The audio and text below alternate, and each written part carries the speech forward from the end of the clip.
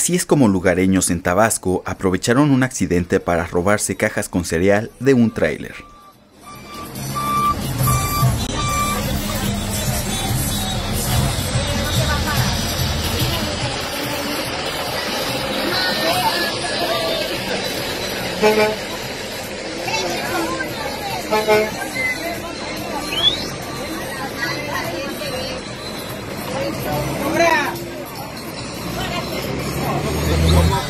El hecho ocurrió a la altura del kilómetro 105 de la carretera federal Cárdenas-Coatzacoalcos.